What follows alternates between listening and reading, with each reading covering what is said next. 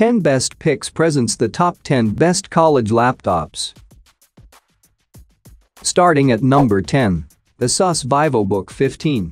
The Asus VivoBook 15 costs $399 and, like some other lower-priced options from Asus, manages to deliver a premium look befitting a notebook twice the price. Given the price, the overall size and weight of the VivoBook 15, a laptop with a 15 6-inch screen is a pleasant surprise as well. Unfortunately, things fall apart a bit from there. The display is dim and dull and the battery life is short even for a laptop in this price range. Performance holds up okay for simple web work, but anything more taxing is going to be painfully slow on its Intel Core i3 to 1005G1 processor. There are some nice design touches on the Asus VivoBook 15, and, if you need a laptop at this price point, there are certainly worse options out there. However, you should consider taking a look at our best laptops under $500 or, if Windows 10 isn't a necessity, our best Chromebooks rankings for other options.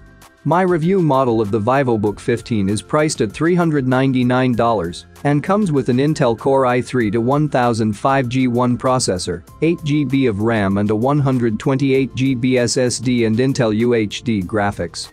There is one other Intel variant of the VivoBook 15 F512 available, the F512JAAS54, which steps you up to an Intel i5 to 1035G1 CPU and 512GB of storage for $599.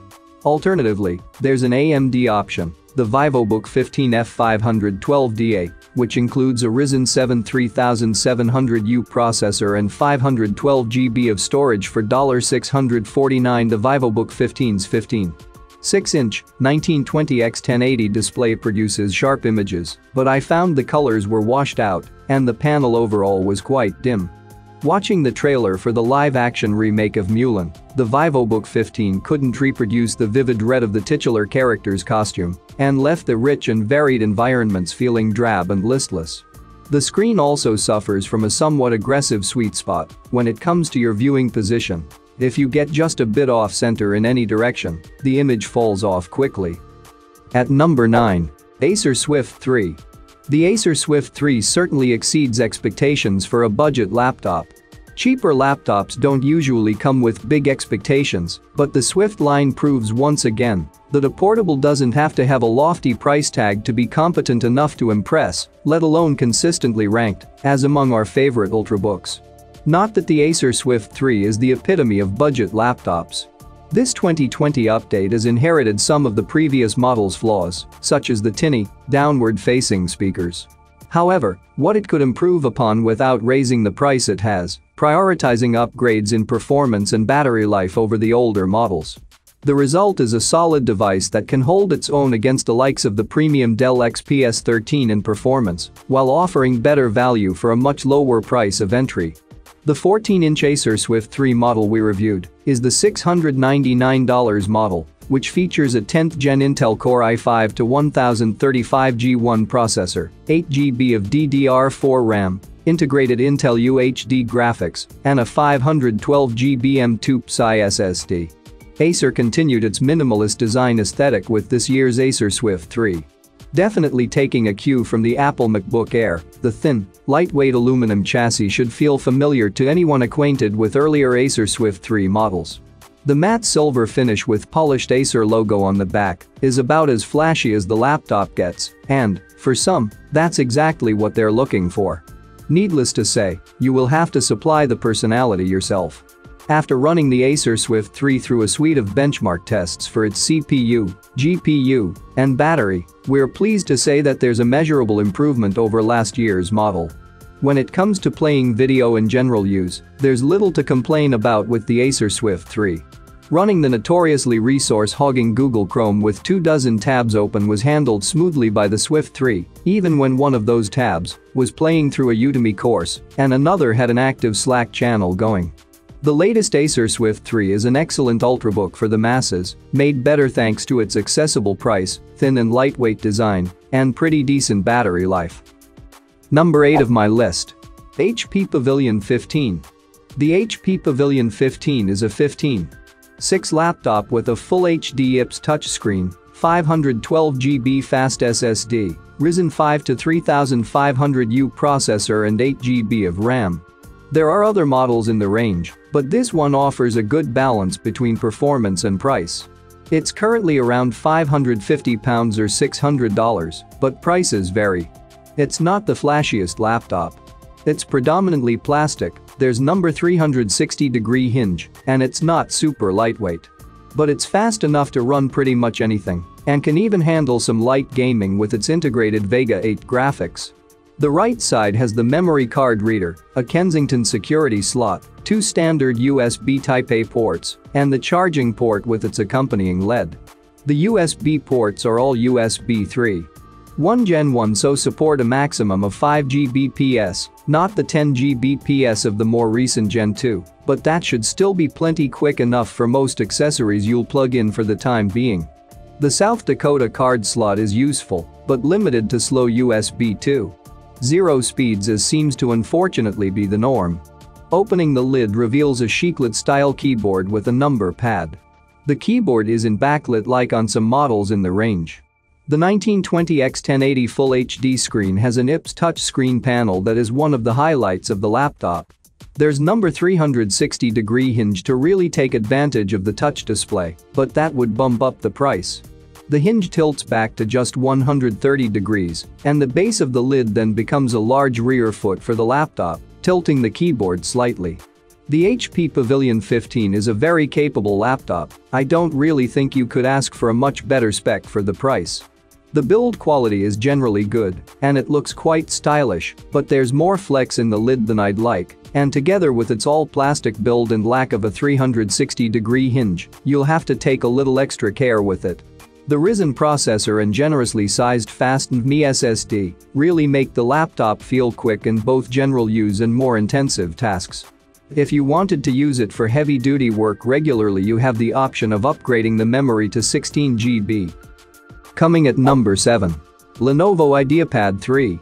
It runs Windows 10s, which means you're restricted to Windows Store apps unless you switch it to full Windows 10. You can do this for free in a matter of seconds, although we'll see some performance compromises. The Lenovo IdeaPad 3 has an Intel Core series processor, one more powerful than the typical Windows 10s laptop. So why is Windows 10s even here? The laptop has limited RAM and storage, and the restricted software is a heads up of who it's meant for. The Lenovo IdeaPad 3 keyboard also suggests this laptop is meant more for work than play. While there's a certain hollow sound to key presses ringing through the plastic shell, if you type hard, this is actually a lovely keyboard for long-form typing. Key action is unusually high, resulting in a much deeper feel than almost every top-price laptop. Each depress comes with a chunky clonk rather than a thin click. It's a joy to type on, particularly considering the Lenovo IdeaPad 3's price. You don't, however, get any glossy extras. The Lenovo IdeaPad 3 does not have a keyboard backlight, and there's no fingerprint sensor for quick logins. The Lenovo IdeaPad 3 has an Intel Core i3-1005G1 processor, 4GB RAM and a 128GB SSD drive. This lineup had me wondering why the IdeaPad 3 comes with Windows 10s instead of full Windows. A Core i3-1005G1 is much more powerful than the kind of Intel Pentium Gold processor that usually gets the cut-down OS. As ever, there's nothing wrong with a Core i3. The Lenovo IdeaPad 3 has a 35Wh battery, a fairly low capacity for a laptop you might want to take out to work somewhere far from a power socket. And, guess what, its longevity is not particularly good. The Lenovo IdeaPad 3 has a keyboard made for work and enough power for some fun, but the IdeaPad 3 is let down by a poor screen and relatively short battery life. At number 6. Lenovo Flex 5. The Lenovo IdeaPad Flex 5 14 punches far above its weight. This $600 2-in-1 convertible laptop offers better computing performance than many competitors that cost more than twice as much. It's also got decent physical connectivity options, a sturdy, well-designed chassis, and a comfortable keyboard. While the Flex 5's 14-inch display could be brighter, and it could stand to lose a few ounces, it's nevertheless a screaming good value and an excellent mainstream laptop. Other than the rather heavy chassis, the Flex 5's only other noteworthy flaw is its screen, which suffers from a relatively dim backlight rated for just 250 nits of brightness. I had to turn the screen brightness up to the maximum level to view in a daylight lit living room. The display is fine for darker homes, but any brightly lit environments, including offices, might reduce its visibility. You might expect that a 6-core Ryzen 5 would have a larger negative effect on battery life than, say, the dual-core Core M3 and the Surface Go 2. While that's technically true, AMD and Lenovo have apparently succeeded in ensuring that the effect is minimal. The Flex 5 lasted for more than 16 hours in our video rundown test, which involves looping a locally stored 720p video at 50% screen brightness with airplane mode turned on. The Flex 5 proves it's possible to offer performance acceptable for light gaming or occasional number crunching and multimedia editing in a laptop that costs far less than category flagships like the Dell XPS 13 or the Apple MacBook Pro. While the chassis could be a bit lighter and the screen a bit brighter, the capabilities of the Ryzen 5 processor outweigh these deficiencies. The Flex 5 is therefore our new top pick in the crowded field of mid-range 2-in-1 convertible laptops. Thanks to a brand new AMD Ryzen processor, Lenovo's IdeaPad Flex 514 offers an extraordinary blend of performance and value for money, making it one of the best popularly priced 2-in-1 convertibles we've tested. For more information and price, check out the product links in description underneath the video. Halfway of my listed number 5. Acer Aspire 5. Another winner in a long line of budget-priced workhorses, the latest version of the Acer, Aspire 5 graduates to Intel's Ice Lake CPU and packs in enough power to tackle daily computing tasks with ease. This new Aspire 5 model does come saddled with a few compromises, including a cramped storage drive and so-so battery life, but its solid multi-core performance and impressive array of ports make up for those shortcomings, particularly once you consider its affordable price. Last year, we saw versions of the Aspire 5 and various dual and quad-core configurations of Intel's Core Whiskey Lake CPUs and AMD Ryzen 3000 series chips. Now, in the second half of 2020, the Aspire 5 is moving to 10th generation Intel processors and AMD Ryzen Series 4000 CPUs, with configurations ranging from quad-core all the way to octo-core.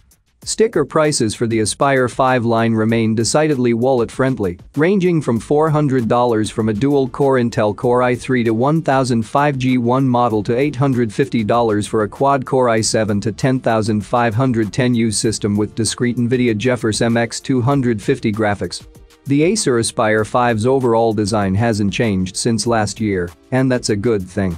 With its 15 6-inch display, the Aspire 5 demands a relatively large chassis. Unlike the incredibly light, but far pricier LG Gram, the laptop feels just as heavy as it looks. Still, the Aspire 5's tapered shell and its sleek, sandblasted aluminum lid give the system a premium feel that belies its budget price tag. As with the other models that I've tested from this particular series, the Acer Aspire 5's backlit keyboard made for pleasurable typing. The keys themselves offered plenty of travel in the springy, satisfying rebound. While there are no dedicated media playback keys, you do get a dedicated 10-key numeric keypad, along with dedicated hotkeys for airplane mode, sleep mode, and a display on-off toggle. The power button in the top right corner of the keyboard only turns off the laptop after it's long pressed, and even then there's a confirmation pop-up to ensure you don't shut down the laptop accidentally. As I said before, it's a treat to see a budget laptop with not only a super speed USB-C port for the latest high-speed storage devices, but also two super speed USB Type-A ports and a USB 2.0 port. The wired Ethernet port is a nice bonus too. Coming in at number 4 of my list. Acer Nitro 5.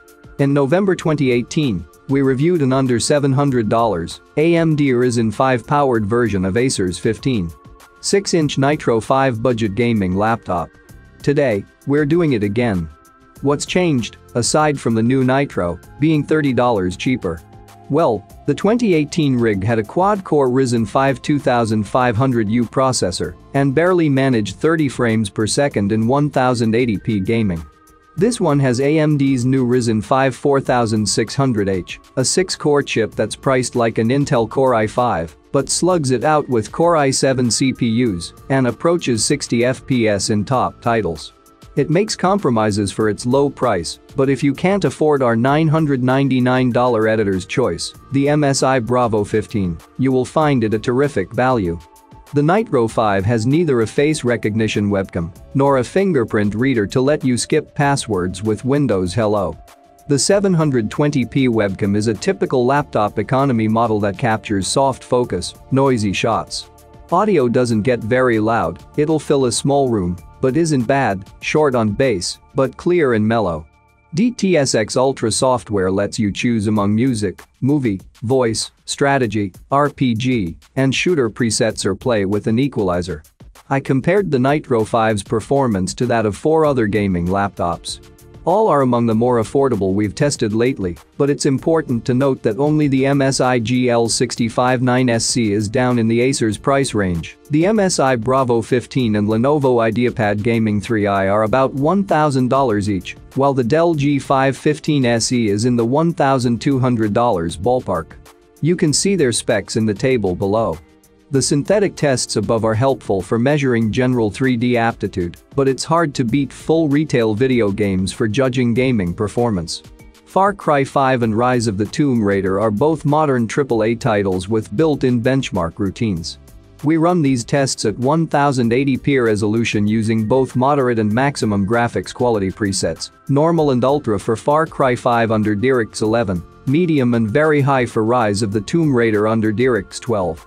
It's short on storage, but the latest edition of Acer's Nitro 5 economy gaming laptop is otherwise the best yet, delivering lively 1080p gamma play for less than $700. At number 3. Acer Chromebook Spin 311. The Acer Chromebook Spin 311 is a great little Chromebook that has impressive levels of versatility as well as satisfying interaction and usability. Just using the Acer Chromebook Spin 311 is a joy, and the design and build quality of this device are also immediately apparent as soon as you take it out of the box.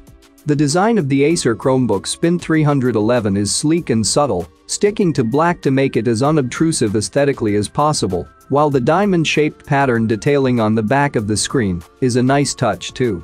Embedded into the black chassis, the keyboard and touchpad are as easy as ever to use on a Chromebook. Satisfying and punchy, with pleasing clicks and actuation, even typing and other menial tasks is satisfying. The Acer Chromebook Spin 311 really is a compact little machine, and its design, build and aesthetic complements its size enormously. Firstly, it's a symphony in black, blacks on the back, on the keyboard and surrounding the screen.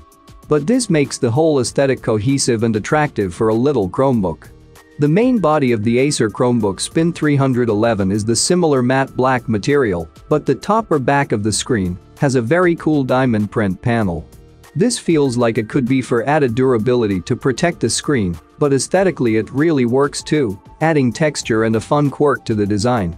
It's particularly nice that the touchpad is of the same ilk, easy, responsive and satisfying to use.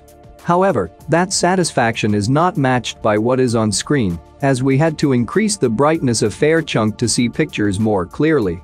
This inevitably came at the cost of battery life. The Acer Chromebook Spin 311's versatility makes it a great all-rounder supported by good battery life and great interactivity. For more information and price, check out the product links in description underneath the video. Coming at number 2, new Apple MacBook Air. In a week of testing, I have pushed this computer and its new Apple-made processor to its limits and found that those limits exceeded my expectations on nearly every level. I've also used it in the way a MacBook Air is really meant to be used, as an everyday computer for workaday tasks. When doing so, I clocked 8 and sometimes 10 hours of continuous use on battery. Coming into this review, I had a catalog of potential pitfalls that Apple could have fallen into when switching from an Intel chip to its own processor. Chip transitions are devilishly hard and don't usually go smoothly. This MacBook Air not only avoids almost all of those pitfalls, but it gleefully leaps over them. Not everything is perfect, of course. Apple's insistence on using dumpy webcams continues to be a bummer, and running iPad apps is a mess. But as I used the MacBook Air, I often found myself so impressed that I had a hard time believing it. Apple is claiming that this machine can get 18 hours of video playback and 15 hours of wireless web, both of which are very large claims. The company tells me I should expect battery life to be as much as 50% better than the last Air, and the battery inside this computer isn't any bigger than the previous models. All of those improvements come down to increased efficiency. My actual results? I'm getting between 8 and 10 hours of real, sustained work depending on how hard I am pushing it. That's not quite 50% better than the last MacBook Air, but it's very close. For pro users, there are still improvements Apple needs to make to increase performance on the top end for intense workloads. You can't run an external graphics card, and you're limited to just one external display at a time, for example, and it's likely that a true pro would find the ceiling on this integrated GPU fairly quickly. But as an every-person computer, there is nothing like this MacBook Air. It has very good battery life, incredible performance for its class, and yes, a good keyboard. Too bad about the webcam, though. It's the main reason we couldn't give this laptop a 10 tenths, which we were considering. And number 1. Acer Aspire 5. There are two types of laptops I've come to expect from Acer, standout premium models like the crazy Swift 7 Ultra Portable and Predator Triton 900, and mainstream laptops that are impossibly good deals, like last year's Predator Helios 300 and this year's Acer Aspire 5. For more than a year, Acer's Aspire E15 was my go-to pick for anyone who just needed a quick reliable laptop for general use around the home. Sadly, that model is getting harder to find, but the Aspire 5 is an excellent alternative that's thinner, lighter and still an impossibly good deal. Starting at $400 with an Intel processor or $350 with an AMD chip, the 15. 6-inch Aspire 5 is only 3. 8 pounds and 0. 7 inch thick. That combination of size, weight and price isn't easy to find with a 15. 6 inch display. By comparison, the Acer E15 had the same screen size but was more than 5 pounds and just over an inch thick. It also started at roughly the same price and was similarly configured. You do lose things like an South Dakota card reader, a VGA display output, and a DVD drive, but chances are it's only the card reader that matters to more people at this point, if anything. Like any budget-friendly laptop worth its salt, Acer puts most of your money toward good internal components and not into things like an all-metal chassis or an ultra-bright high-res touchscreen. For example, my Aspire 5 had a similar configuration to Lenovo's premium Yoga C932 in 1. Performance is about the same between the two, but the Yoga is twice the price. What's more, you can pop the Aspire's bottom off and add more memory or increase storage on your own, something fewer and fewer premium models will let you do. The Acer Aspire 5 is a 15. 6-inch thin and light that definitely delivers more performance for your money than you might expect. Though it starts low, the $530 configuration I tested is a comfortable middle ground that's full-featured enough for typical work, home, and school tasks. But even if you decide to go all out on upgrades, this model doesn't break the $900 mark, and you'll get a workhorse laptop that won't win any beauty contests, but should last you well into the future. For more information and price, check out the product links in description underneath the video Thank you for watching this video. Please subscribe my channel, share this video and hit the like button.